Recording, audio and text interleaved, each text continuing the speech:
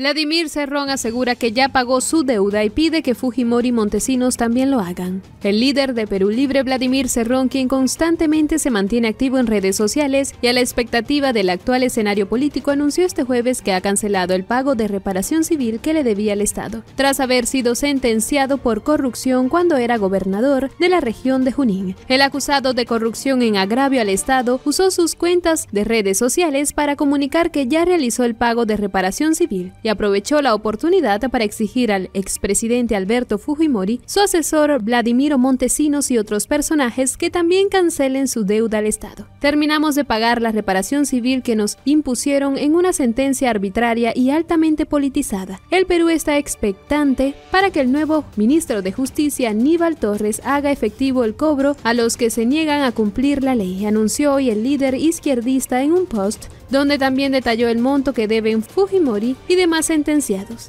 Vladimir Cerrón intentó anular sentencia y obviar el pago de reparación civil, como se recuerda tras ser sentenciado por la Corte Suprema por el delito contra la administración pública en la modalidad de negociación incompatible en agravio del Estado. Vladimir Cerrón fue inhabilitado en el 2019 por el plazo de un año y fijó en 850 mil soles el monto que, por concepto de reparación civil debía abonar solidariamente. A principios del mes de agosto del 2001, la Corte Suprema de Justicia declaró inadmisible el recurso de casación presentado por el secretario general de Perú Libre, Vladimir Cerrón Rojas, contra la sentencia emitida en su contra por el delito de corrupción de funcionarios. Lo que buscaba el exgobernador de Junín en la práctica era anular la condena impuesta por la justicia en su contra por corrupción. Asimismo, dejó sin efecto el extremo de la sentencia de primera instancia que les impuso cuatro años con ocho meses de pena privativa de libertad efectiva y reformándola. Los condenó a cuatro años de pena privativa de la libertad suspendida en su ejecución por el término de tres años bajo reglas de conducta.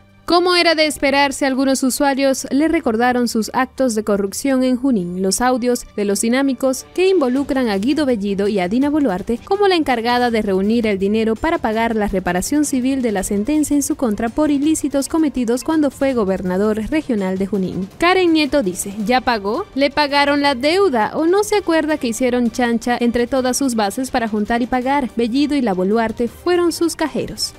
¡Qué vergüenza con dinero de Junín, coimas y demás! Dejaron hospitales, obras, etcétera por terminar.